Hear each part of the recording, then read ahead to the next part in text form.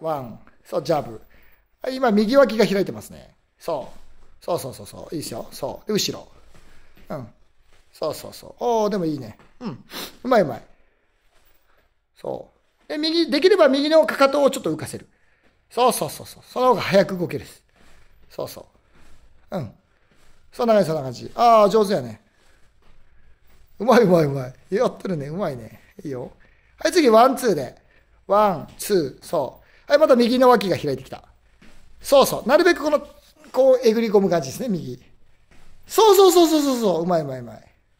ナイスナイス。できれば、で、左も右を隠したかったら、前言ったみたいに、そう、そうそうそう。で、右の脇が開くと見やすくなる。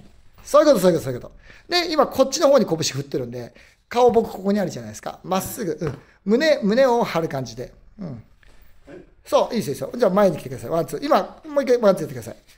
ツーで、今こっち流れてますね、体。顔はこっちでもいいけど、手はこっちって前。多分僕、うん、言ったと思うんです。そういうこと、そういうこと、そういうこと。もう一回やってください。せーの、ワン、ツーって感じです。こうやって。はい。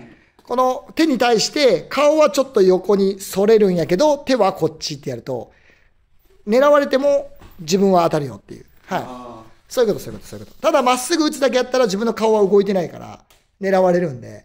なんで、ワン、ツー打つときに、顔はちょっとその右側っていうか、外側か。そっち側向いてもいいんやけど、そうそうそうってやると、拳は僕の顔に来てるっす。あで、拳もこっちに行くと、体自体がずれてるもんで、そうっす。的が、そうそうそうそうそうそう、ちょっとでいい、ちょっとでいい。そうそうそうそう、うん、うまいうまい。で、後ろは？後ろは ?1、2、いいですいいですよ。そうそうそう、ゆっくりゆっくり。1、2、そうそうそう、もう一回。1、2、うん、そうそうそう、うまいよ。はい。2、そうそうそう。またその打ち方もいろいろあるけど、まあ今のところはそれで全然いいですよ。じゃあ、 One, two, three でいきますか。ワン、ツー、蹴る。そうそう。で、右手下がった。。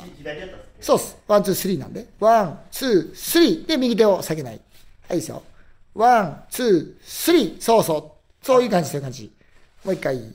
One, two, three. Three でもう一回ワン、ツーができるかどうかです。 One, two, three 打って。今だとフォーになっちゃうんですよね。ストレート出したら。